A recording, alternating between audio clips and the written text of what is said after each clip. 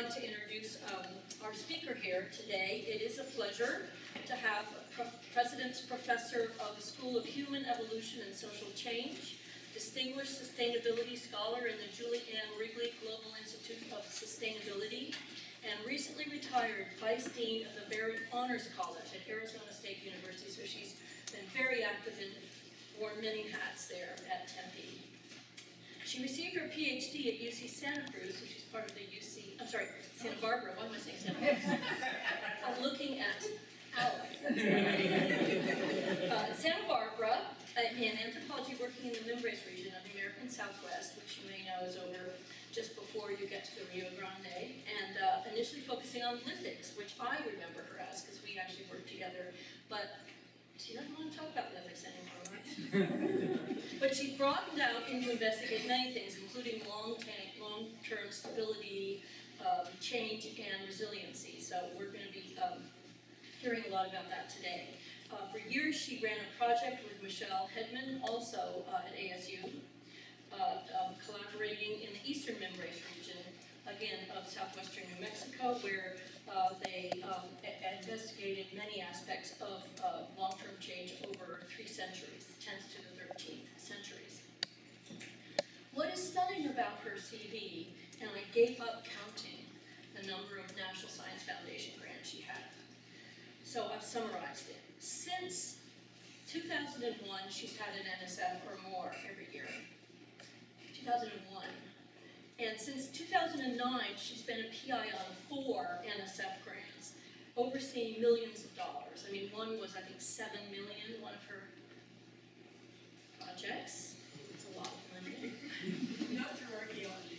No, no, sadly, she, she learned how to work with others who went for the big bucks. Maybe she'll give you a little primer on that over drinks afterwards.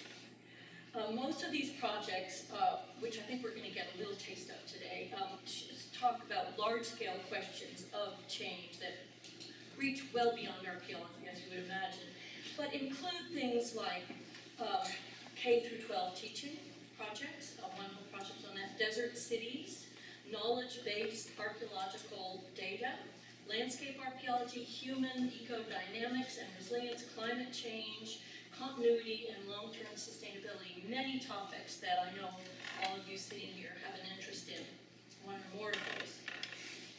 Most recently, she's led two interdisciplinary research teams, the first addressing, these are her words, uh, social ecological issues concerning resilience and sustainability for prehistoric small-scale farmers in the U.S. Southwest and northern Mexico. And this focus on the lessons learned for contemporary issues of social change, vulnerability, diversity, and cultural trade-offs. The second team focuses on the impacts of climate change and climate challenges across the globe with scholars across not only the U.S. um, Southwest, but across the northern Atlantic regions, the islands, Iceland, Greenland, Faroes, and Scotland. So a completely different environment. So you can see that she's uh, a global scholar, truly a global scholar, not just working in the American Southwest. Wonderful as that is.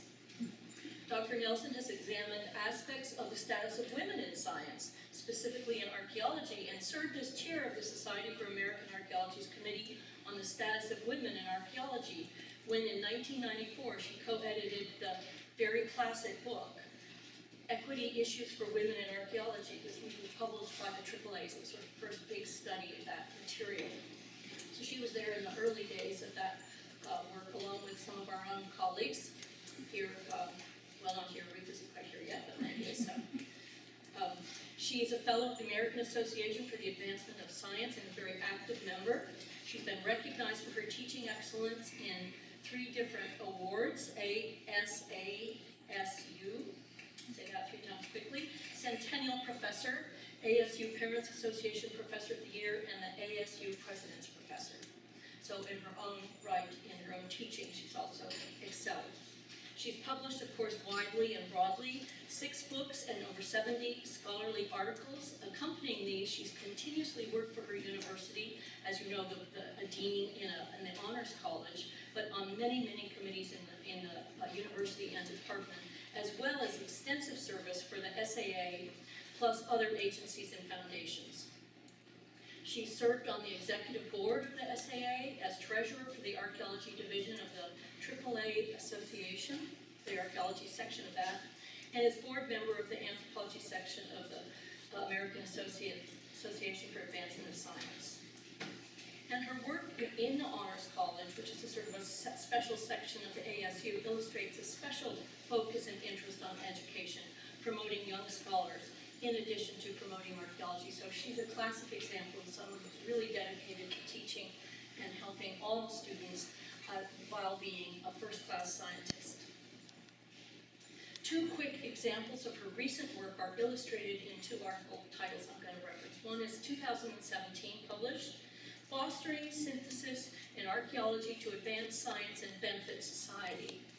And in 2015, Climate Challenges, Vulnerabilities, and Food Security, both published in the PNAS with other colleagues, but clearly showing her broad and deep scholarship. And on a personal note, we, we worked together both in graduate school, and so we've been good friends for a while.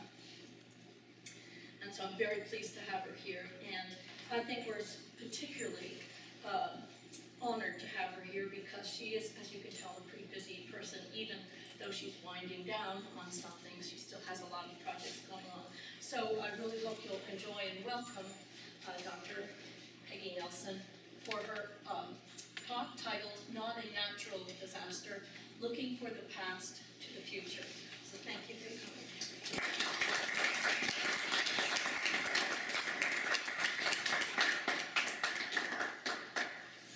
Is that way to have voice partly or? Yes. Oh, no.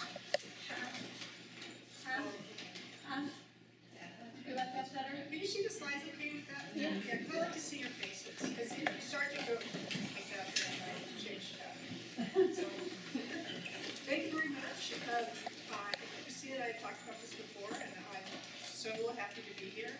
We worked together as graduate students in Rivers in the nineteen seventies, so we've been into it for a very long time, so it's a great pleasure. And I've known some of you, I think it was Meg who got me involved being the head of the archaeology, um, so what's it, women in, women in Biggest women in archaeology, right? Thank you. Yeah, right. When we started that, I think you, uh, to that. Thank you, that was a good start to some interesting things that I did. Um,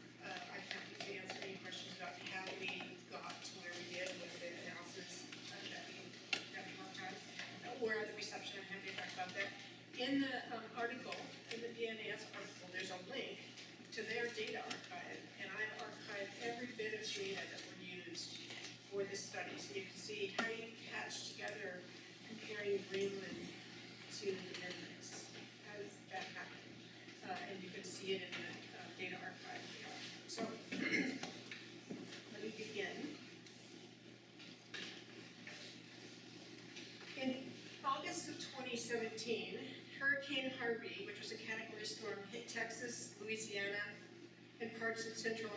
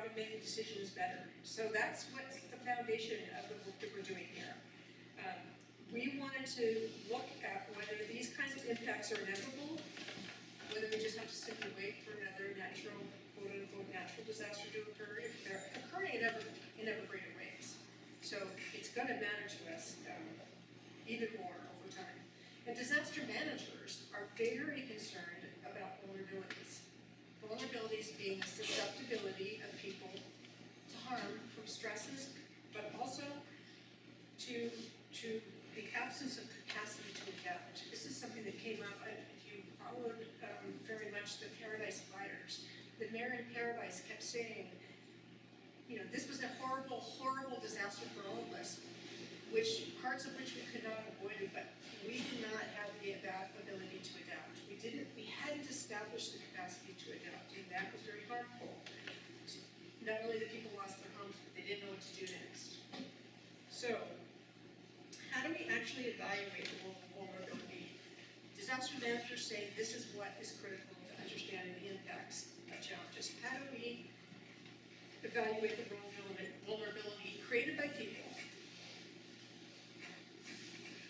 And how, to what extent is it a predictor of the impact of climate challenges or any other kinds of challenges um, on us as, as people?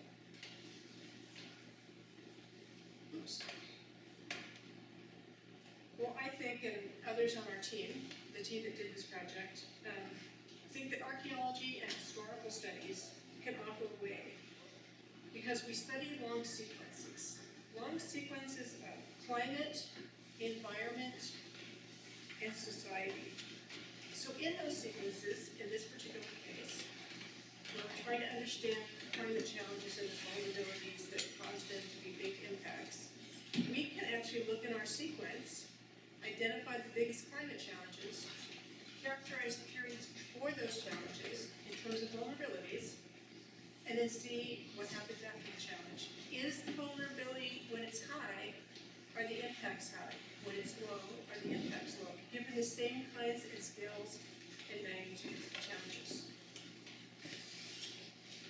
I want to read a quote from the uh, disaster management community because I think it captures where they are and how we can contribute.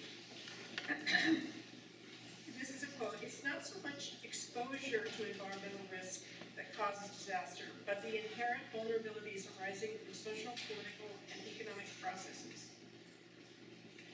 So as archaeologists, we can see that and say, okay, we, with our centuries-long sequences, can assess that statement.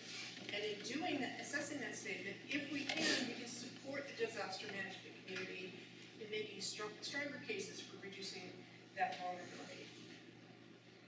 So this afternoon, I'm going to talk about a collaboration. It's a kind of unusual collaboration uh, between two teams. The first is um, the Iceland, Greenland, Faroe Islands group that's called NABO, the North Atlantic Biocultural Organization, working in the um, subarctic.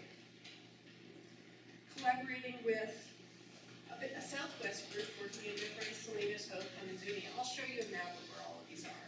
Uh, I just wanted you to have the names. And we're, we're, we were called, we are called the Long-Term Vulnerability Transformation Project, the Southwest Group.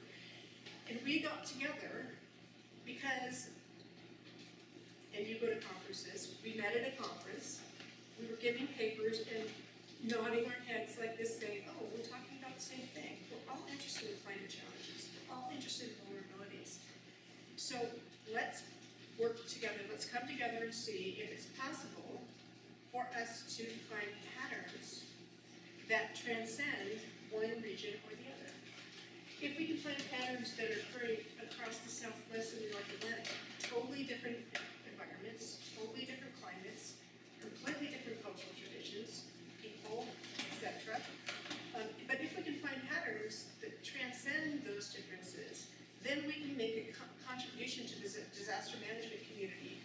can't be dismissed as just, oh, that has to do with the Southwest, or that has to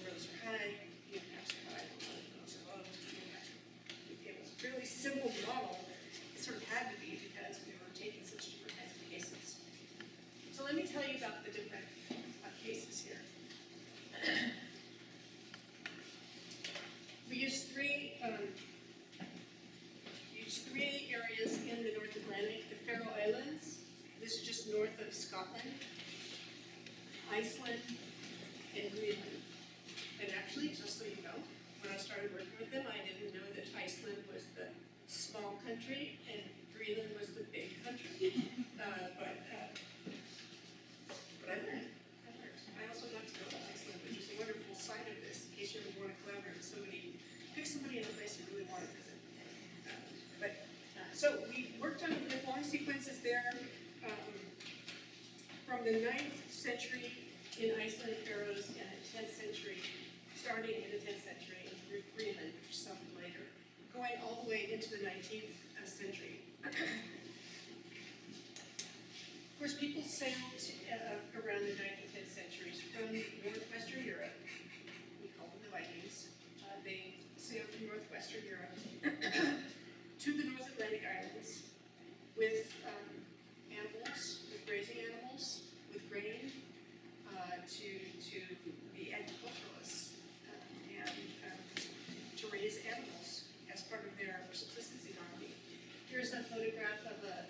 Farming settlement. This one is in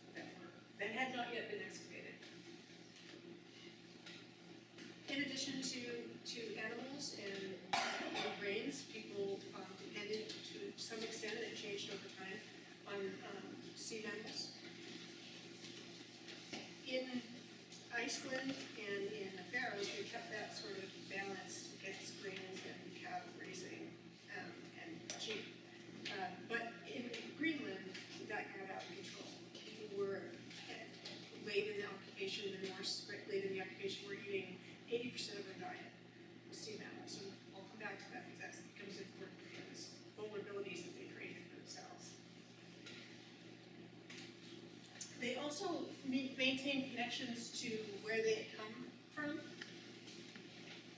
Through the church, the church sent bishops from North and West Europe to Iceland and Greenland up until the very late centuries, late thirteenth century when the last bishop left Greenland and the church lost its connections to Greenland. Uh, but it maintained its connections in Iceland and the Faroe Islands. And then there was a lot of trade. Uh, people, the Norse got food from the western, northwest Europe, and they sent ivory. Well, the economy of northwest Europe changed, and people got their ivory elsewhere, and didn't care so much about Greenland anymore. So again, created more movies for them, and we'll get back to that. And the climate challenges that people face are just exactly what you'd expect. Ice, cold, and shortness. The North American Southwest.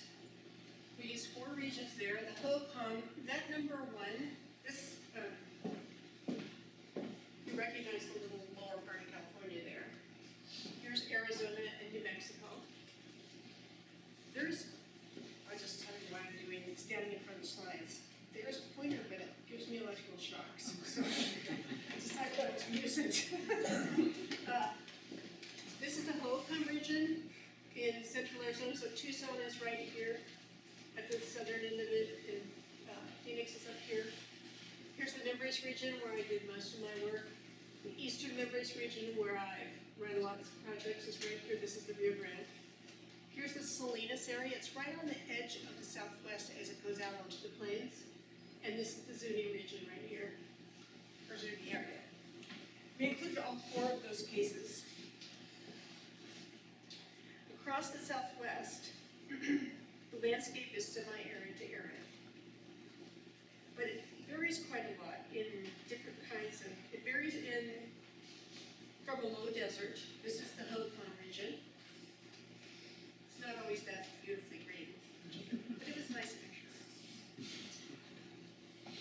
Here's the, the- the basin range, this is the Mimbres River Valley. And people farmed right along, where you see those green strip of trees, they farmed along that area. In this, kind of, most farming is right along the river valleys in the basin range areas. Up on the plateau, so this is the Zuni region right here, really beautiful. When you see pictures of the southwest, this is what you usually see, this plateau area with beautiful sandstone plateaus. And then the Salinas area, which is the one that's right out onto the plains, you're right on the edge of the desert, it really it's flattening out to the plains. And this is one of the big, uh, prehistoric Salinas pueblos. We use a period from the tenth century to the sixteenth century, and by the tenth century, everybody was farming. They farmed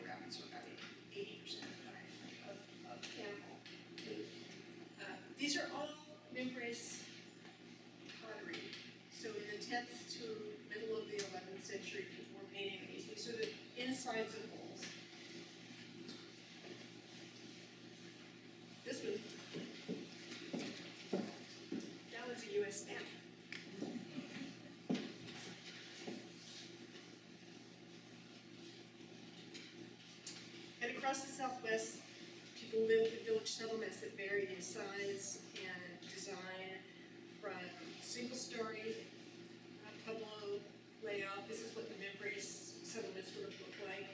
This is actually a picture from Kamchini, which is our grant um, from 1880, but it's a great picture of what the Mimbres sites would have looked like. This background is a big Mimbres village. Um, to multi-story pueblos, this is Zuni in the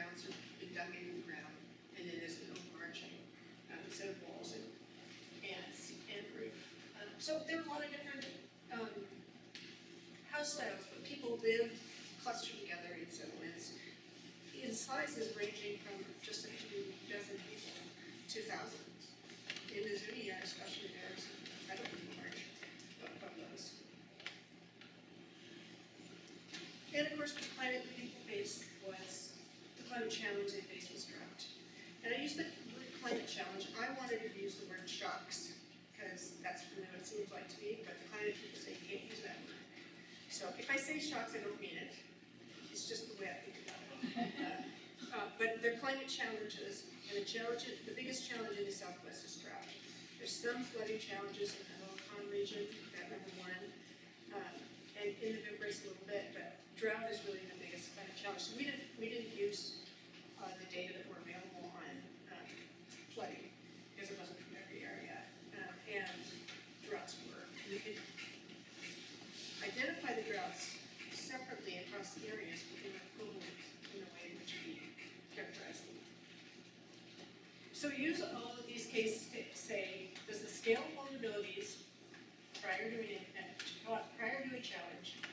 scale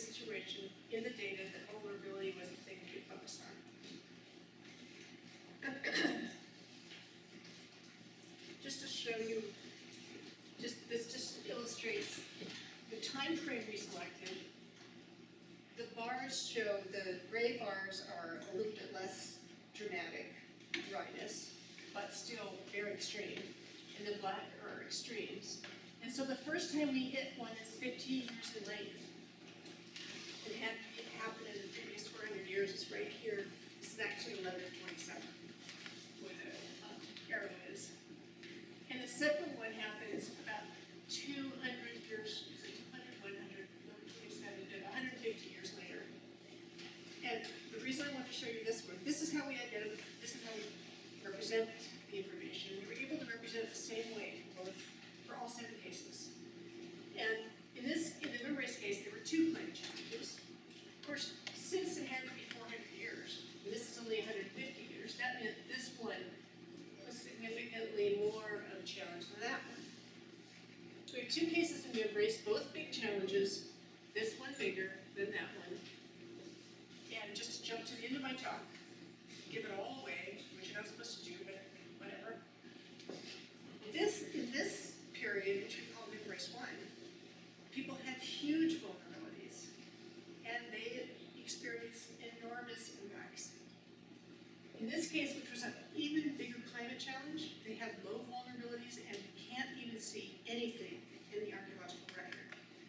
that suggested there was a climate challenge. So it was golden. We didn't know it was gonna come out that way, but that's the way it came out. That's exactly what we were looking for. So just let me go back, capture, capture the- the North Atlantic. Since the North Atlantic is not my area, I have to use my notes to tell you exactly how they did this. The climate scientists uh, identified extreme events and regime changes. So in the North Atlantic, you also have the climate changes happening during the period 900 to 1900. The extreme events uh, were identified as large deviations from the previous experience, long-term mean, that hadn't been experienced in 200 years. They used 200 years, in part because their deviations were so extreme. and the regime changes were events uh, that were the first extreme deviation of a, from a previous norm, like the onset of the Little Ice Age. So that's the way they, the climate scientists came up with the seven climate challenge periods in the North Atlantic. So those, these thirteen days are for our starting point. They give us a time structure to work with. We then take that time structure and we say, what's happening before this, before this, before this? What are the vulnerabilities that are happening before these start dates? To do that, we identified eight variables. Three that were population resource variables, and you can read them, I don't need to read them to you, but I can just give you an example. Uh, the diversity of available food means how many different, there's how many different kinds of plants and animals that people have available to them. And if that was broad, it was seen as, uh, being, supporting, um, food security. If it was narrow, it was seen as creating a vulnerability. And there's a difference between a vulnerability and the actual experience of food shortage, right? The vulnerability just means that you could, your, your likelihood goes up, um, but not that you're actually experiencing a food shortage. So these are the three uh, population resource variables. And then we had five social conditions that we um, determined in all seven cases could impact food security. And you can read them for yourself. Um, I'll just go to, uh, I'll go to the last one. Barriers to resource areas. These are social barriers. These are not physical barriers. And physical up in the, in the population resource. These are social bar- barriers, meaning someone owns that. You want, you want fish eggs in Iceland? Sorry, not fish eggs. Bird eggs? I control that area. I might let you have sweet bird eggs, but I might not. Uh, so that's what's meant by barriers to resource areas. So to turn this into an analysis, analysis of vulnerability, we did a qualitative ranking, one to four, of each of the variables and quantified that into a vulnerability load.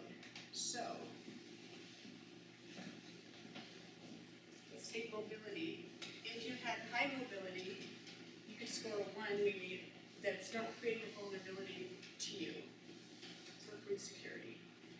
If you had very little ability to move around the landscape, to get to resources, to get away from problems, to make connections to people, if you had very little ability to move around, you scored a four. So it's one to four for every one of these eight variables. Two and three are, as you can imagine, right in between there. Two closer to one, and three closer to one. So it's one to four. So a score of eight, we, we then add them together. A score of eight means you have no vulnerabilities. None of these variables are contributing to vulnerability to food shortage. That doesn't mean you're not hungry, just means you're not vulnerable to future change in that state of food security, okay? If you have a thirty-two, things are really bad. That means you have a four for every variable. Um, and so you have a, a high vulnerability level. And the coding was based on expert knowledge of case leaders using evidence of archaeological and historical records. And this is what you can go to the PNS article and see all the different things that we used. But I just want to tell you that literally to do this kind of collaboration, we had a very big table. We had nineteen people sitting around the table, and we'd say, okay, mobility, zoning, what's the evidence that you score, what's the score you give, and what's the evidence you got? And we'd go around the table and we'd refine, and we'd refine, and we'd refine until we feel very confident that we were all talking about the same thing, and scoring things the same way. So it's extremely time consuming to do this kind of work. This paper that I'm talking about today, which it took us, um, it didn't take long to get accepted. It took less than a year to get accepted and published. It took a long time to get there, uh, because there was so much discussion. I had to understand the people who worked in Greenland and what they were talking about, they had to understand me. Uh, and what I had done in Mimbres. So, um, it's a fascinating way to learn about another place, uh, a bunch of other places. So once we'd done all this, um, scoring, and we had a, we had a number for every one of the cases, a vulnerability load score. we can then use that, those data in a variety of ways. So this shows, this bar chart shows the mean value across all the cases, across all thirteen of our cases. What's the mean value for variable one, two, three, four? Remember, these are the population resource variables, these are the social uh, variables. This one, uh, let's see, this one is mobility, storage, connections to other areas. And right away you can see there's a difference between population resource impacts on vulnerability and social and institutional practice impacts on vulnerability and creation of vulnerability. One means there isn't any, so everybody's got at least a one. So you're looking above this bar. Sufficient resources on the landscape that people can eat all play almost no role in creating vulnerabilities in any of our cases. Which is really interesting. So vulnerability rarely, the sc- overall vulnerability score rarely resulted from inadequate food resources. S- In some of the sequences later on, there's a little bit of a role, not much. But the social variables played quite a role. And especially connections, meaning how much, how much you're connected to people who are in areas outside of your own. This is not connections within your village let's say, but it's connections to people outside of where you are, so you can get away from the situation you're in by going to someone else, where you can get resources from them. Like the trade,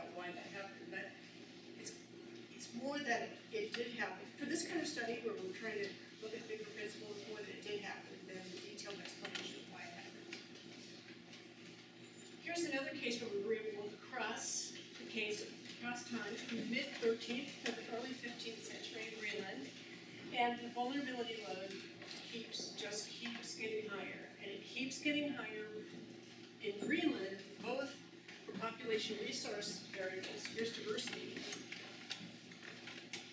This is um, social connectedness and human mobility. So they had a pretty bad situation. Low resource diversity, low mobility,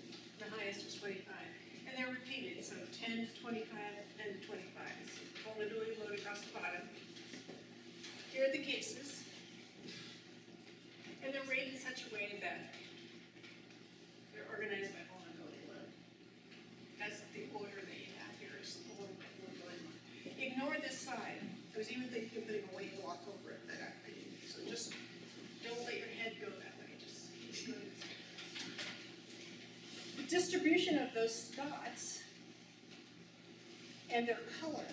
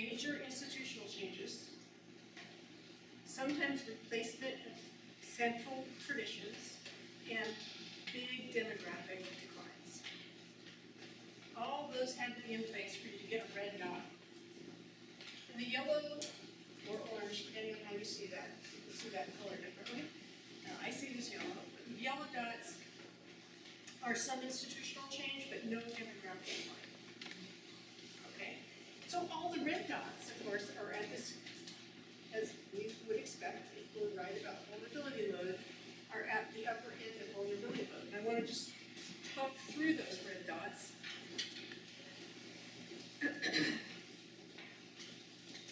the first one is Mimbres 1. I've already talked a bit about Mimbres 1. This is when um, there was an extremely long dry period and the estimated population of about 5,000 tend to, not everyone, ever in archaeology, uh, people tend to agree, though, that the population was 95,000 in the Mimbres region. And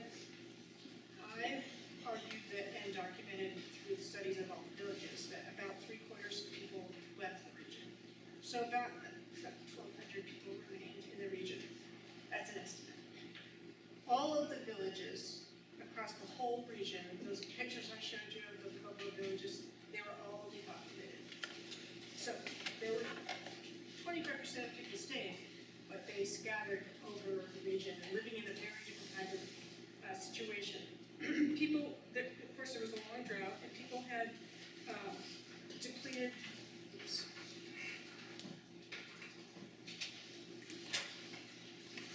Sorry, people had depre- depleted the riverine habitats.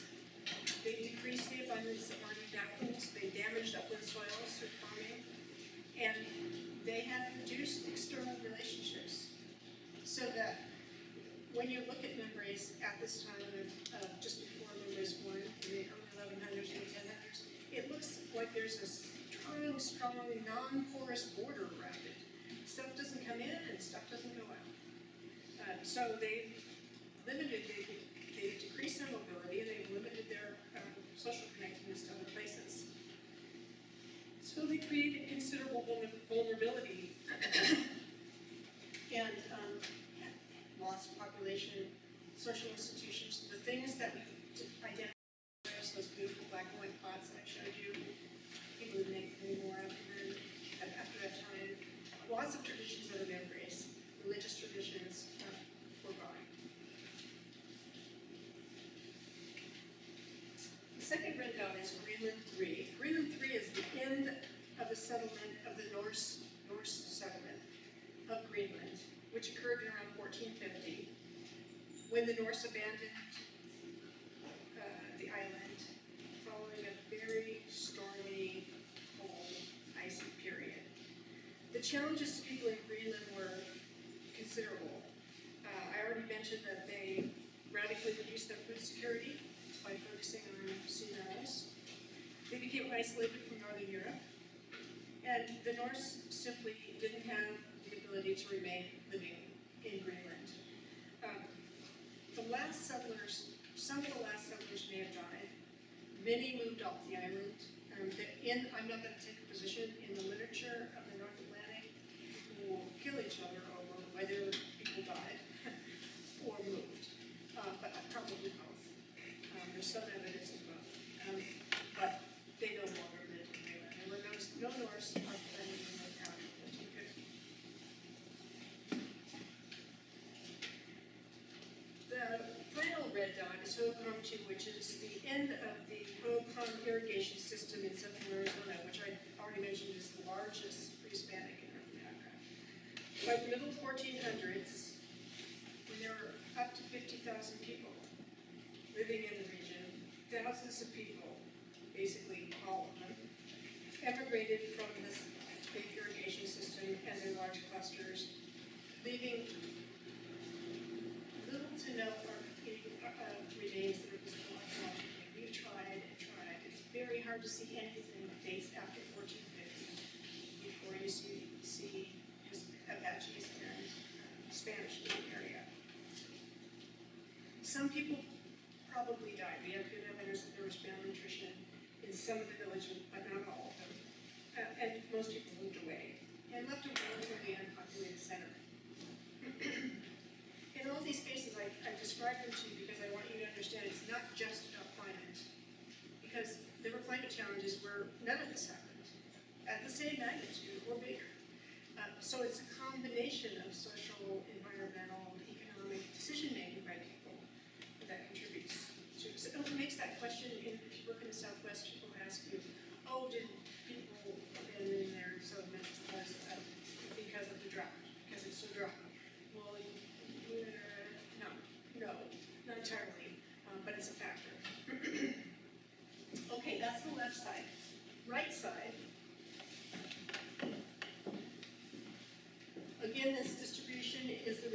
relationship between climate, excuse me, vulnerability load and climate challenge, uh, excuse me, and the impacts from climate challenges. The green dots are no food shortage, or no visible food shortage that we can determine.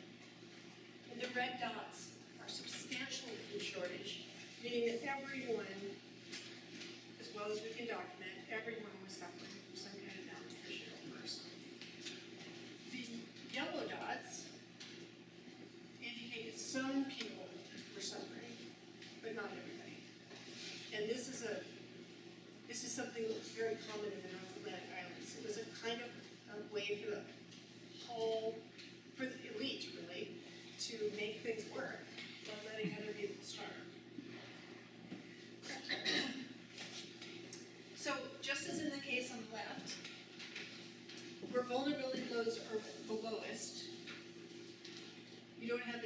substantial food shortage. Where they're the highest, you have substantial food shortage.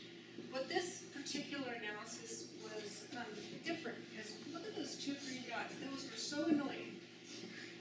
This one and this one. Um, And when I looked into them, I've actually written a separate paper about those two green dots. Um, When I looked into it, I found that they have a very good lesson beyond the relationship between vulnerability and impacts. They had a good lesson for uh, disaster management.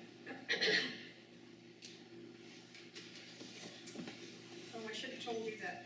The coding for food shortage was based on skeletal analysis of humans and animals, ethnobotanical analysis, and uh, in the case of the North Atlantic Islands, um, historical records. So what are those two green dots?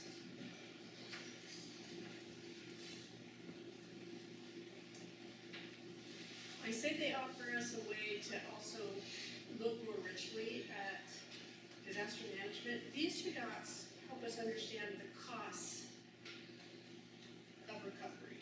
So if we have successful recovery from a climate challenge, what costs do people pay? In Mimbres One, which is the top of those two green dots, I already mentioned Mimbres One over here. Most of the population left. All of the uh, settlements had been depopulated. But because the population was so low, there was no longer ch- food provisioning challenge. So people were able to manage that, twelve hundred people were, they were able to manage, we don't see any evidence of food provisioning challenges. But the social landscape is for them really changed. There are no s- village centers anymore, people are just dispersed all over, but they're probably really small communities. And we see a lot of moving around, um, and people moving in and out of the area. So the cost they paid for avoiding provisioning challenges was some, some real challenges socially in their social landscape, really big adjustments in their social landscape. The second green dot is Greenland two. This is the time at which people shifted from focusing on their grazing animals and, and their, uh, grains. They- There's still a little bit of that in the diet, not totally, and shifted to eighty percent of their diet being sea mammals. And sea mammals at this time were very abundant. Following Greenland two, which was a particularly, um, cold period, things were the, the, the best resource base for the sea mammals, and they were very abundant. People were out on the water, bringing that resource in, able to provision their uh, communities. But they created a huge vulnerability by, by decreasing the diversity of their diet. And here's Greenland three. So a hundred years after they made this they were hit by an extremely icy, stormy period, and the ice prevented people from being able to get to the sea.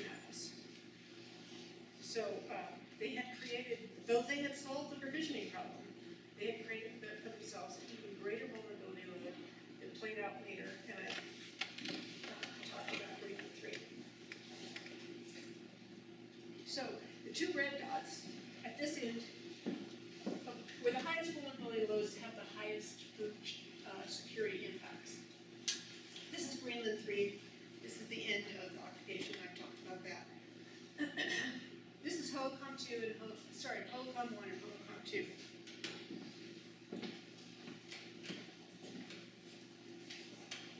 Hohokam 1 was an extreme long drought beginning in the early 1300s. And we find evidence for food shortage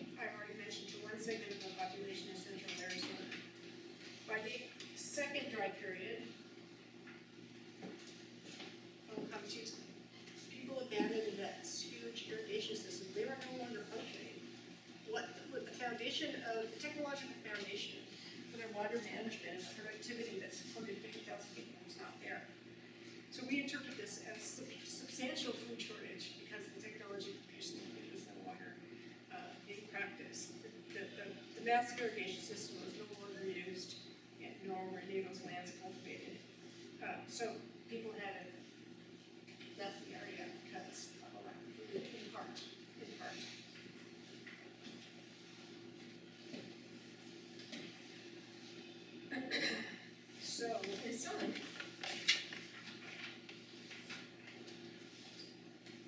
Major social transformations follow climate shocks. Oops, climate challenges. Uh, in cases with great vulnerability load. The food shortage was experienced in the cases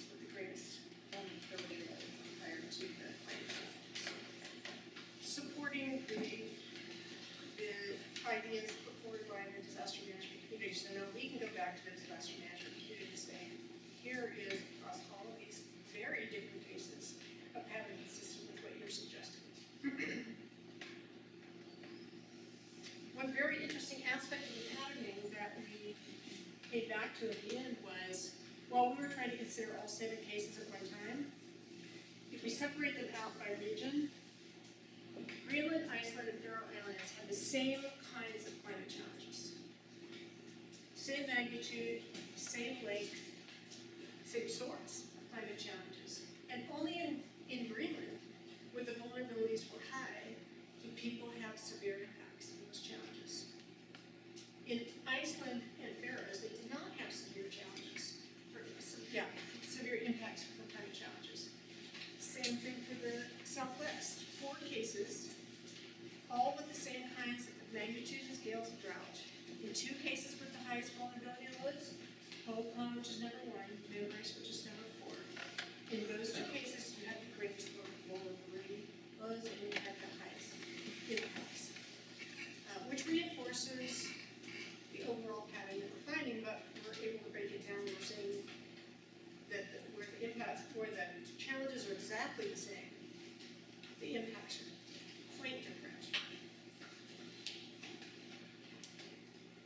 children roll?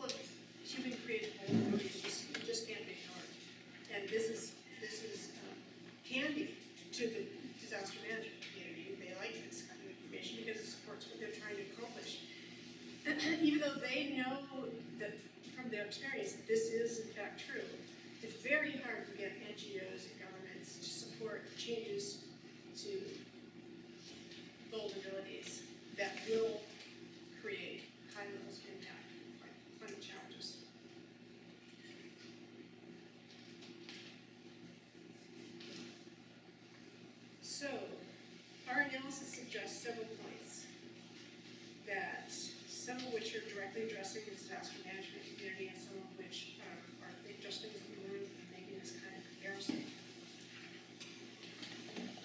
Strategies for coping with climate change.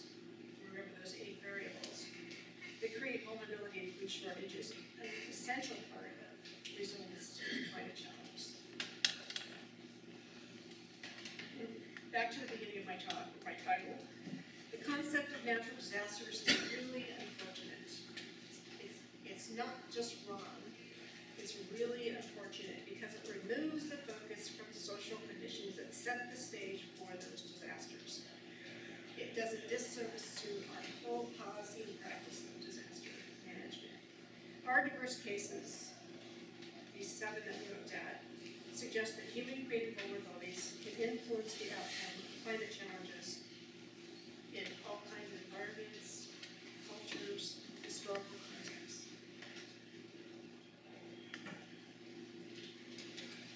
Disaster relief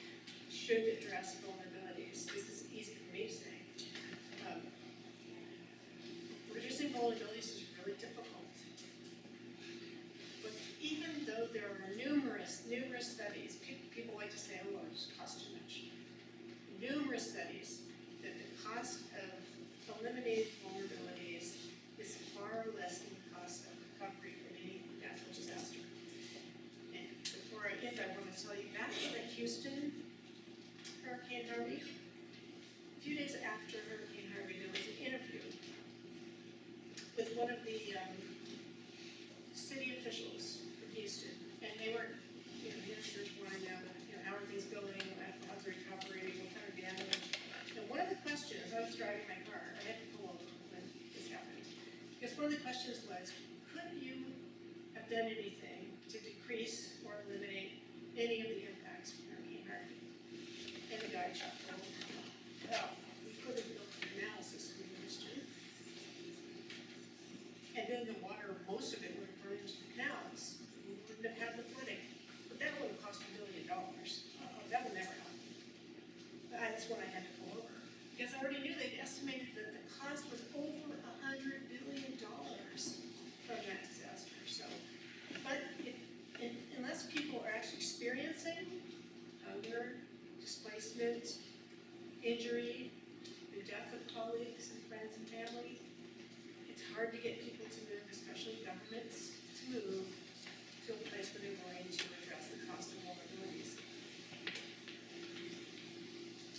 come back to a place where I started um, talking about why we do this, why I and others in my team do this kind of archaeology. I think that archaeology and history have a lot to offer. This topic, but also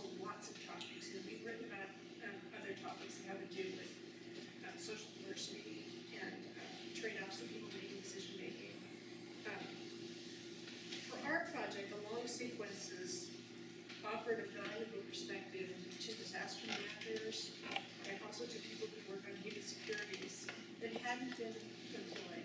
It's been lately in the last, I'd say, five, six years, there's been more of it in that literature. There's now physical geographers really stepping in and saying same kinds of things that we are. Identifying incidents of climate challenges, we can do that regardless of what the impacts were. So we're not setting Hurricane Harvey, and we're not studying Superstorm Sandy. We're studying a climate challenge.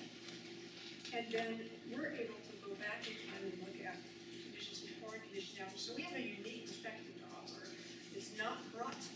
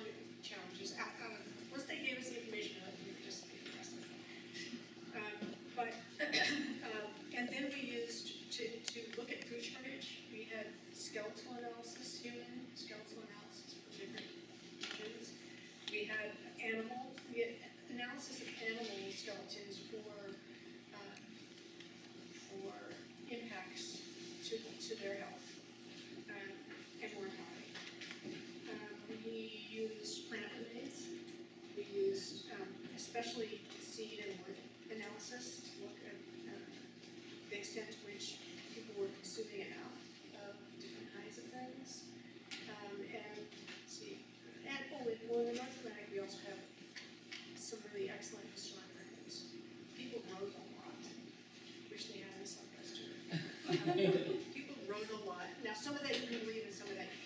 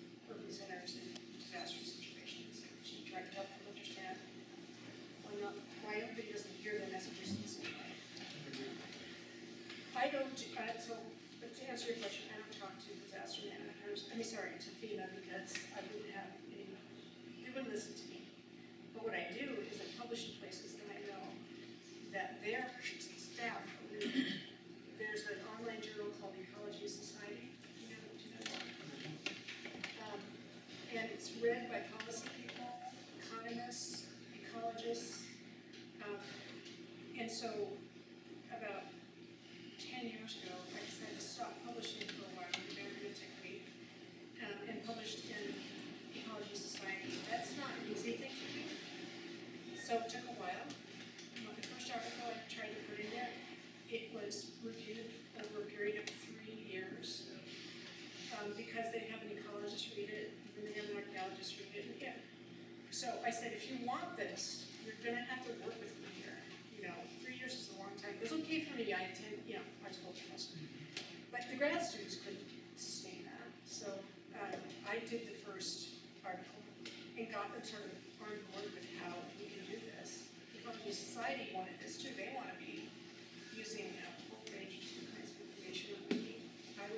Resilience Alliance, which is where Ecology and Society Journal comes from. And that's all, There, there almost no archaeologists in Resilience Alliance, but they want to hear from us, so they have to go a little ways toward us, and they were willing to do that. FEMA doesn't have to come anywhere toward us, so. But there's those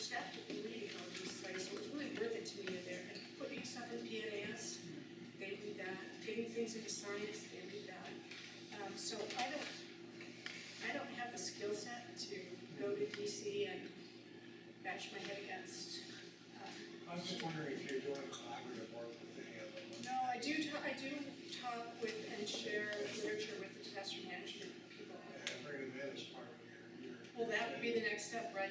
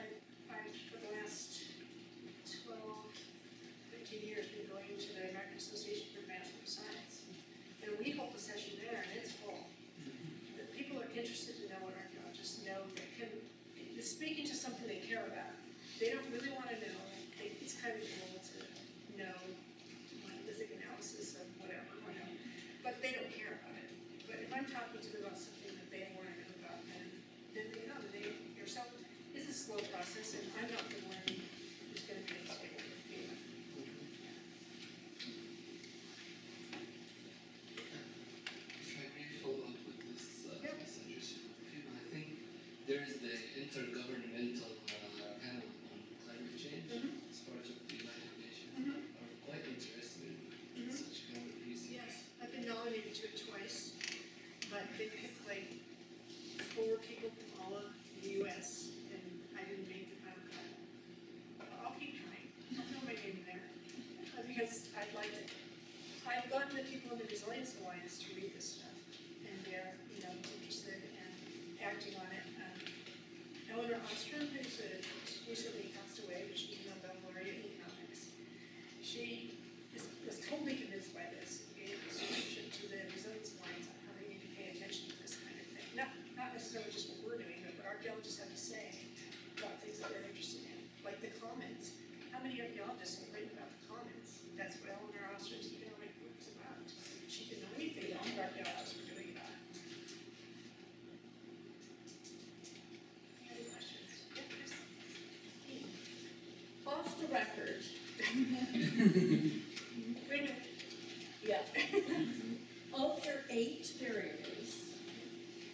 you made a pretty good case that the kind of food uh, uh, yield, uh, almost environmental variables, even though environment may come, the drought or the freezing comes from the environment, but it's not the food sources or the farming and even the drought that's the problem. You you make a case that it's the social side, and, and, and, there's those guys on that side, right? The higher blue lines, and you had two that were much higher.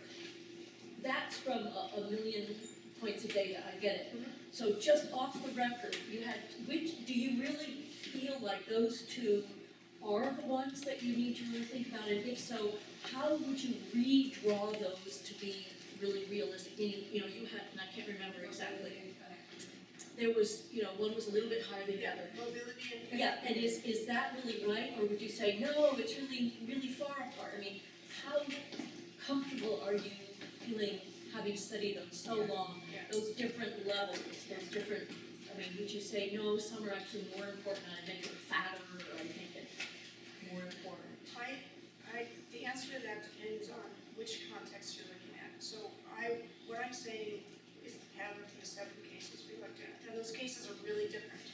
One thing they have in common is the population levels are pretty low. They're not huge urban These are not big urban centers. This is not Teotihuacan. This is not, you know, the central Mexican or the Yucatan Maya. This is not that. It would be fantastic to then study those. Take a bunch of Urban and do the same thing. I wouldn't do it against these to start with, I'd do it against other urban, I think urban places around. Sure, sure, sure. Um, so then the pattern can be really different. But I do think that at scale, population scales that we were looking at, movement and connection are incredibly Able important. to do Because those you two can be in a situation where you can provision your population. Then something comes along that challenges your ability to provision. And you're on the other side of that. If you don't have connections, if you don't have movement, then you don't even have to be taking advantage of the connections to get food. They're there so that you then can get. Yeah, You can, you can move around, right? Uh, and I think, I think connections, I found it fascinating that storage didn't matter. Storage was even lower Isn't that funny? So many people write about, oh, not storage. Yeah, storage just didn't, and it was because, it was because the, um, the climate challenges were so long. Yeah. Storage didn't make. But they did- they couldn't And we were out. looking at food security, They couldn't so we were looking at food. Uh, storage might play a role in some other domains, storing precious gems or something, whatever, what storage, where storage might. The question is, for all those variables, are there contexts in which they can play a big role? There's a lot of spin-off things that can be done in this kind of study. I, would- those, I told you those two green dots, they just made me crazy, those two green dots, they were, had high vulnerability loads, and that's why I, you know, I went back and did a study just of those two dots, because it didn't fit. But, um, really, uh, the mobility and the connectivity, first of all, the mobility, what's sort of conflicting about it is that while soldiers settled places, say Mimbres or uh, they were settled, they were there, they weren't moving around, but their resolution to the climate challenge was to move. So, you know, and the reason that, were able to survive with only twelve hundred people left in Mimbres is because people moved. So there was a kind of mobility that fed into the, whatever happened to the people who moved, but it fed into the stability Yeah, of the people Staying alive, it stayed. didn't, it didn't feed into the stability of the culture, it fed Right. into the stability of people staying alive. people staying alive, but their cultural That culture's not. And and what's interesting about those cases where the solution to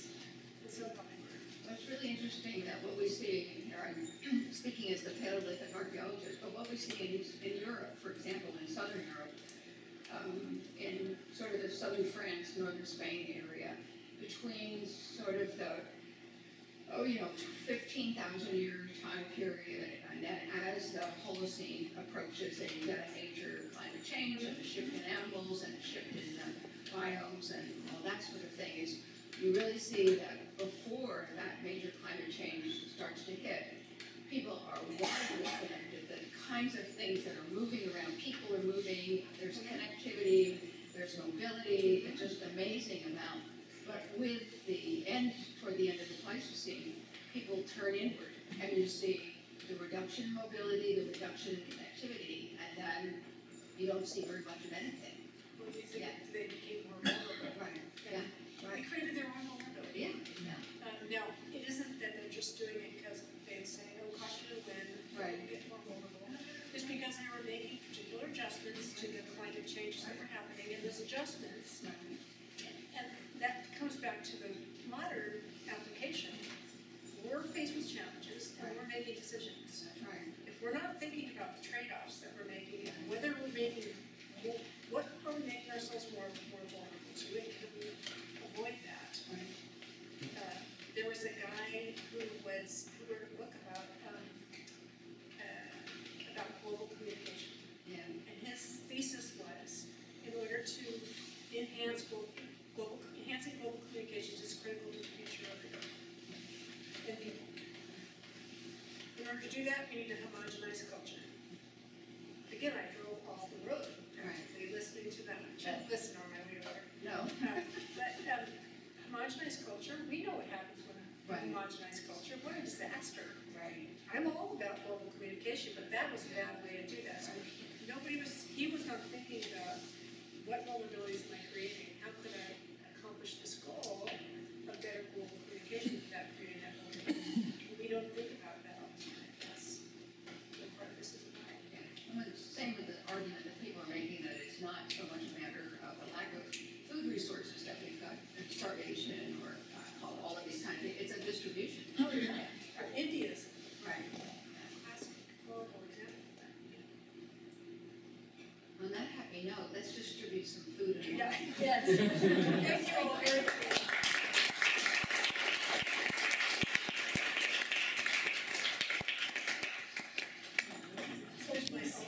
those beautiful black and white I showed you. People make more after that time. Lots of traditions been embraced, religious traditions were gone. The second red dot is. Greenland three is the end of the settlement of the Norse, Norse settlement of Greenland, which occurred in around fourteen fifty, when the Norse abandoned uh, the island following a very stormy, cold, icy period. The challenges to people in Greenland were considerable. Uh, I already mentioned that they radically reduced their food security by focusing on sea minerals. They became isolated from northern Europe. And the Norse simply didn't have the ability to remain living in Greenland. Um, the last settlers, some of the last settlers may have died.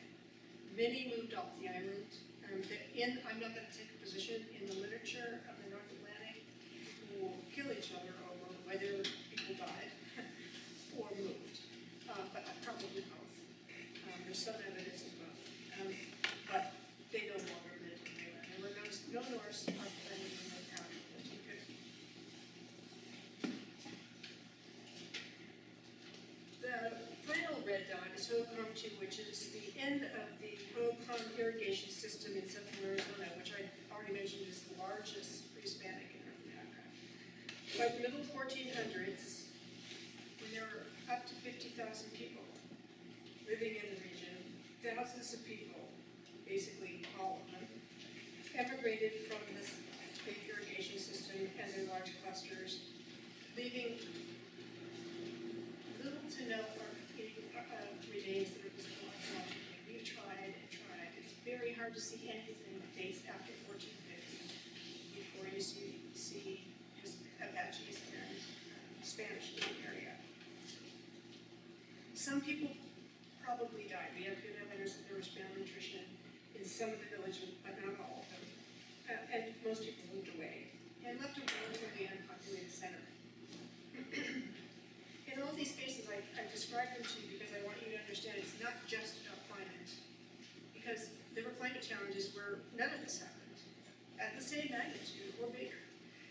So it's a combination of social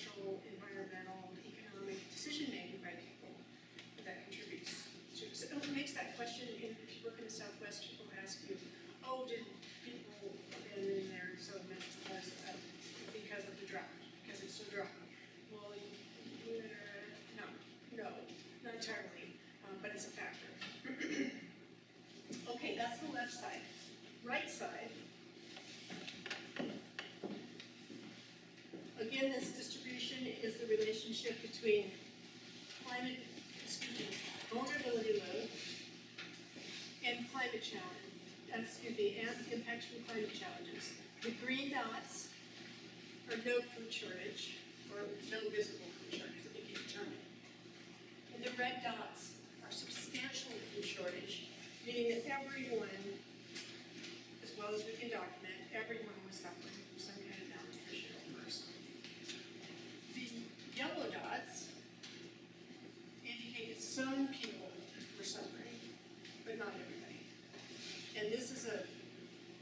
something that was very common in the North Atlantic Islands. It was a kind of a way for the whole, for the elite really, to make things work while letting other people starve. so just as in the case on the left, where vulnerability loads are the lowest, you don't have any substantial food shortage. Where they're the highest, you have substantial food shortage. What this particular analysis was um, different because look at those two green dots. Those were so annoying.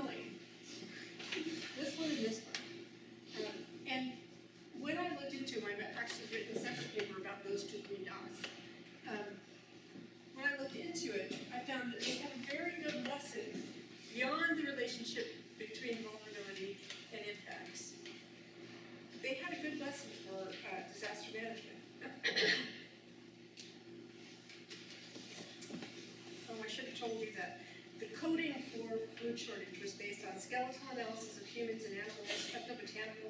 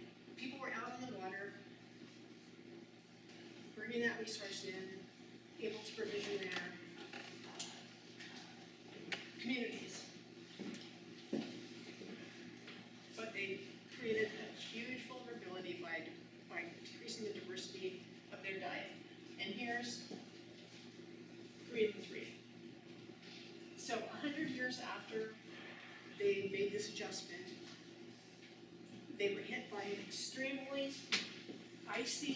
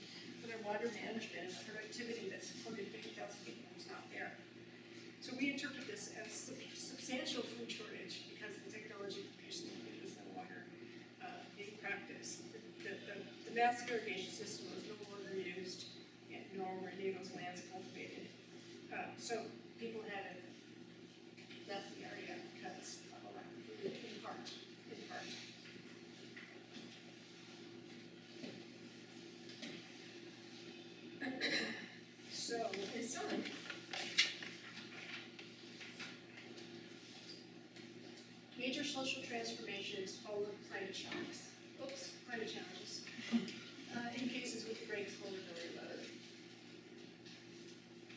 The food shortage was experienced in the cases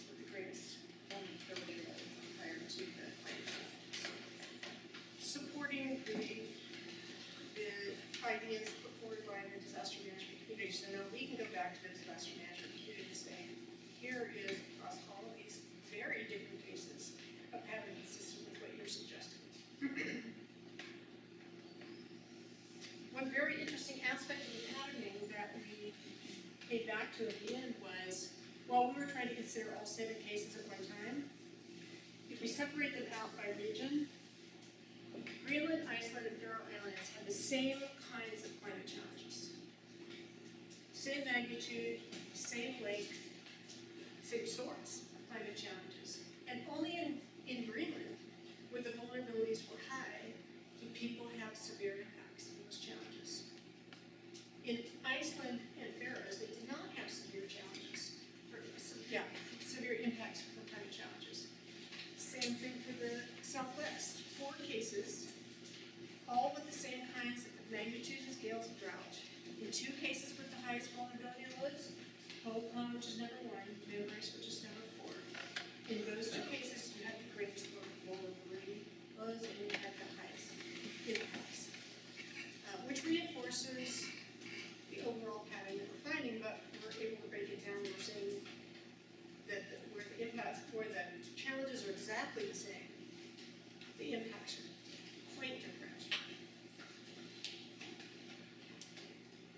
So the role of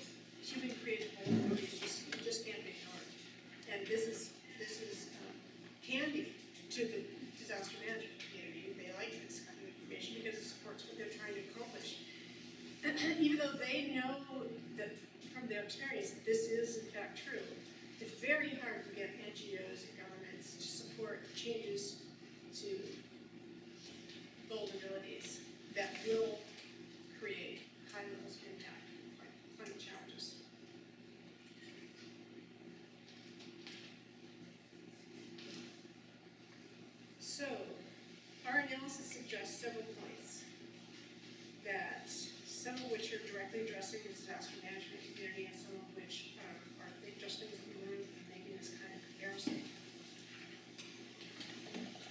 Strategies for coping with climate change.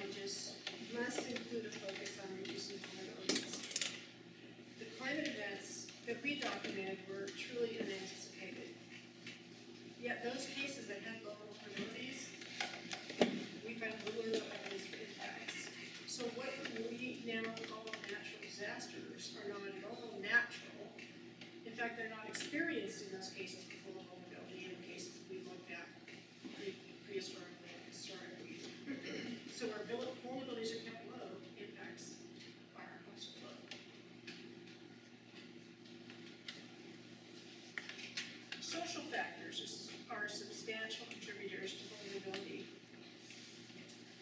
Researchers and managers recognize this, but management of food security sometimes, and I would actually say often, the literature says sometimes, I crossed that out my comment, uh, often simply address the availability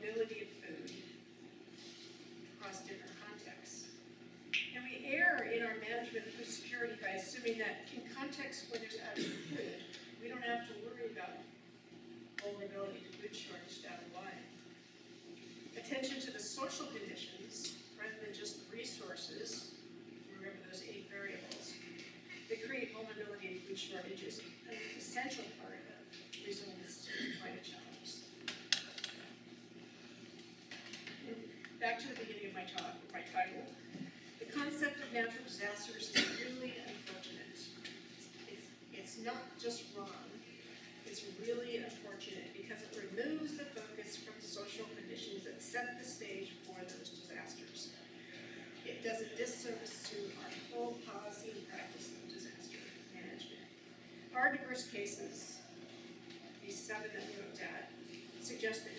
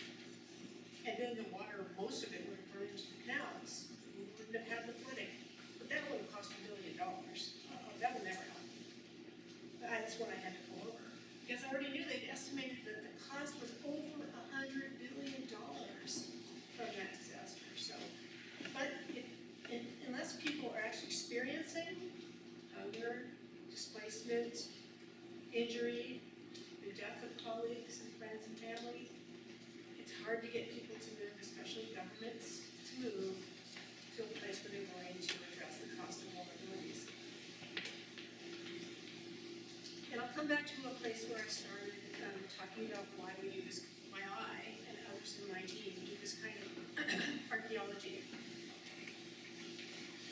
I think that archaeology and history have a lot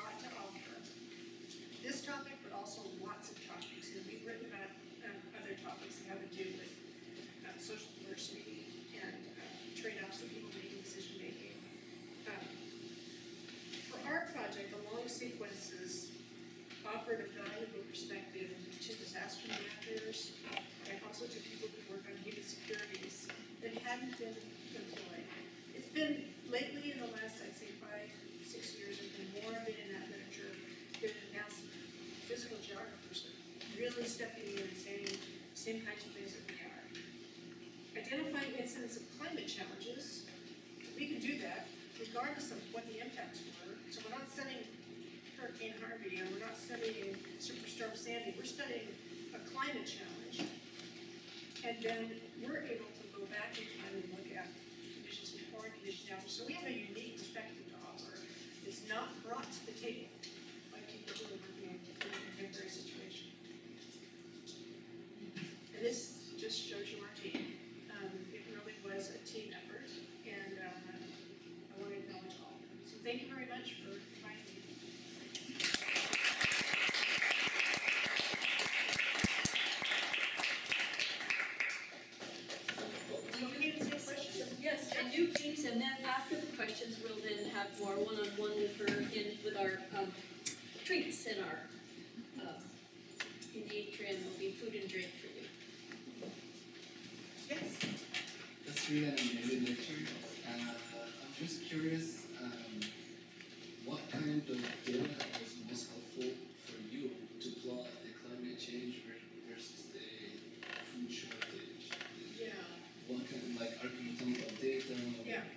tree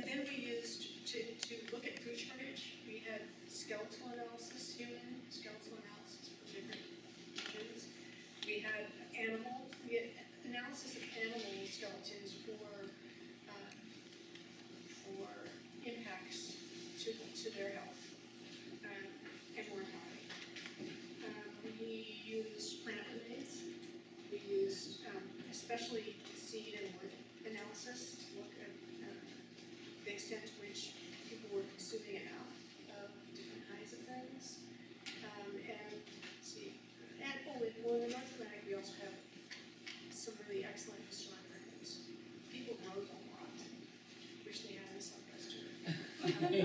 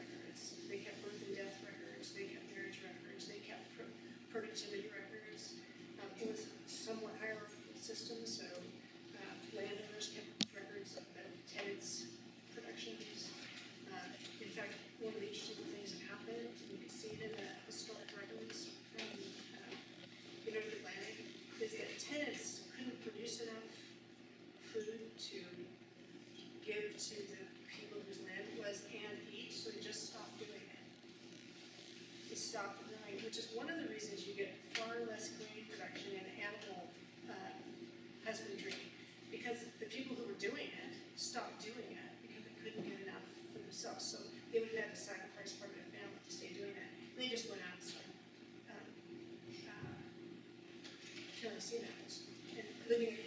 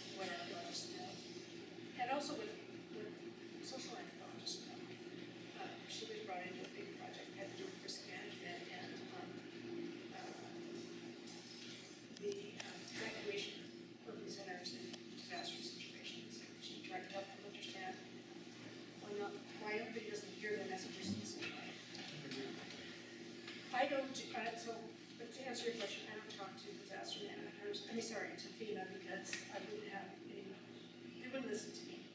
But what I do is I publish in places that I know that their staff, there's an online journal called Ecology Society, you know, do you know that? Um, and it's read by policy people, economists, ecologists, um, and so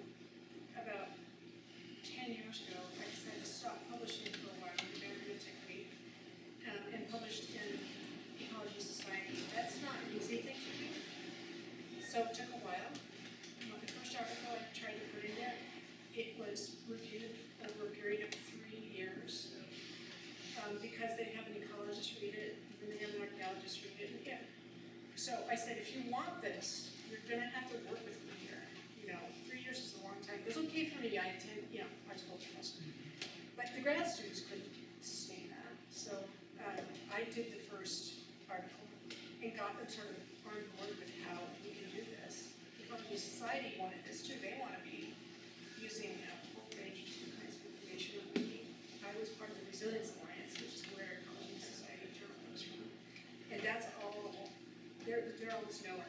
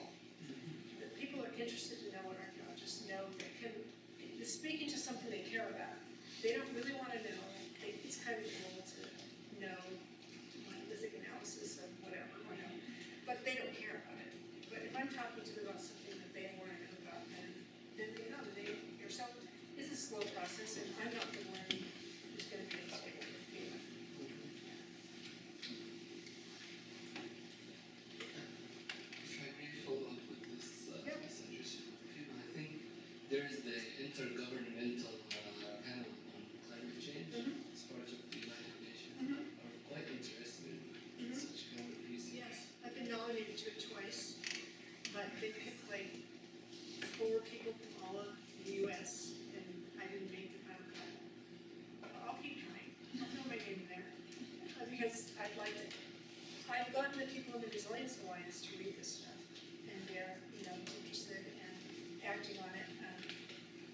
my students recently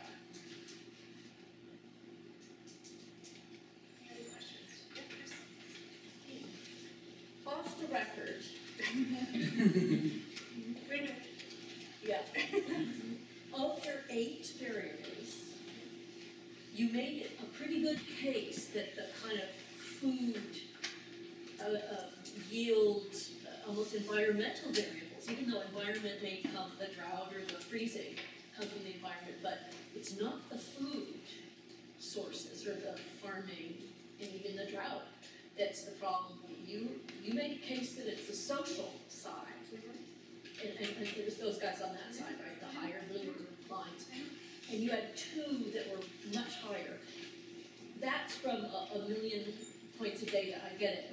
So just off the record, you had, which, do you really feel like those two are the ones that you need to really think about? And if so, how would you redraw those to be really realistic? Meaning, you know, you had, and I can't remember exactly. There was, you know, one was a little bit higher than the other. mobility and. Yeah, and is, is that really right, or would you say, no, it's really, really far apart? I mean, how comfortable are you feeling, having studied them so long, Yeah. those different levels, those different, I mean, would you say, no, some are actually more important, I make it fatter, or I make it more important? I, I, the answer to that depends on which context you're looking at. So I, what I'm saying is the pattern for the seven cases we looked at, and those cases are really different. One thing they have in common is the population levels are pretty low.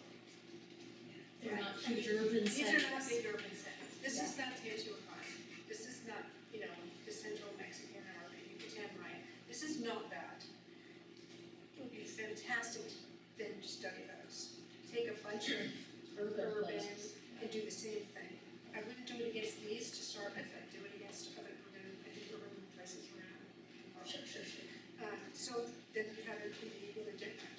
But I do think that at scale, population scales that we were looking at, movement and connection are incredibly Able important. to do Because those you can be in a situation where you can provision your population. Then something comes along that challenges your ability to provision. And on the other side of that. If you don't have connections, if you don't have movement, then you don't even have to be taking advantage of the connections to get food. They're there so that you then can get correct. You can, you can move around, right? Uh, and I think, I think connections, I found it fascinating that storage didn't matter. Storage was even lower Isn't that funny? Some people write about, oh, not storage. Yeah, storage just didn't, and it was because, it was because the, um, the climate challenges were so long.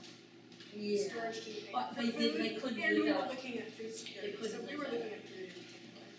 Um, storage might play a role in some other domains, storing precious gems or something, I don't or storage, where storage might. The question is, for all those variables, are there contexts in which they can play a big role? There's a lot of spin-off things that can be done with this kind of study. I, would- those, I told you those two green dots, they just been crazy, those two green dots, they were, had high vulnerability loads, and that's why I, you know, I went back and did a whole separate study just of those two green dots, because it didn't fit. But, um, really, uh, this mobility and the connectivity, first of all, the mobility, what's sort of conflicting about it is that, wow, your settled places, say Mimbres or, uh, they were settled, they were there, they weren't moving around, but their resolution to the climate challenge was to move. So, you know, and the reason that, uh, they were able to survive with only twelve hundred people left in Mimbres is because people moved. So there was a kind of mobility that fed into the, whatever happened to the people who moved, but it fed into the stability Yeah, of the Staying alive, it didn't, Right. it didn't feed into the stability of the culture, it fed Right. into the stability of people staying alive. people staying alive, but their culture That traditions culture's and got that, and and what's interesting about those cases where the solution to food provisioning, part of this, a lot of other things are going on, again, I don't want to make everything sound like it's about planet food, but that was our focus. Um, Those people, when they moved away, become invisible. Yeah, right. They become, you can't see anything in that race after they move out of that race region. They just become completely invisible. So to me, that's not a great Right. outcome. I think for people, when you think about people's lives, that's not a great outcome.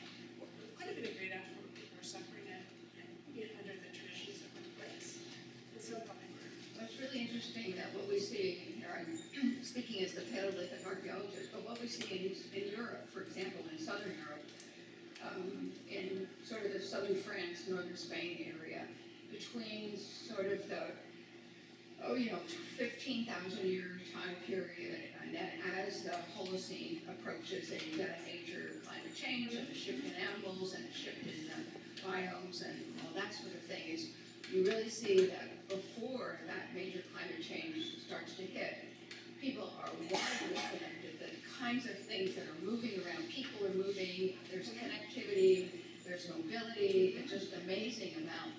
But with the end, toward the end of the Pleistocene, people turn inward, and you see the reduction in mobility, the reduction in connectivity, and then you don't see very much of anything.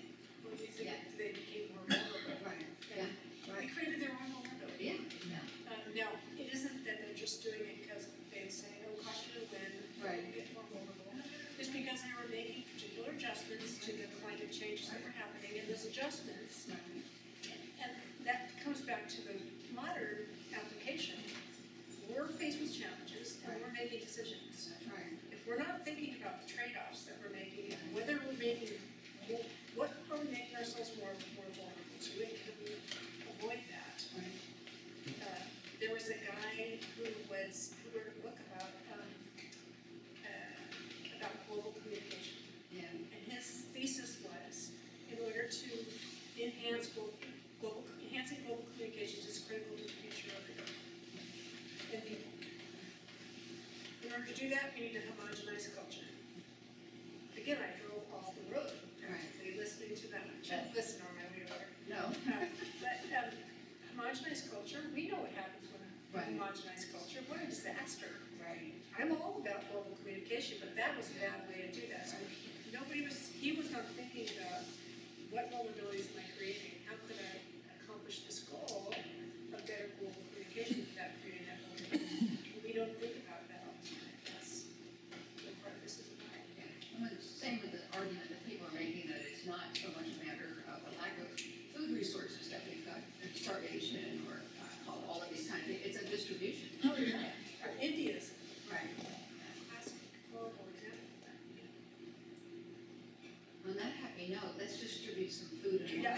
Yeah.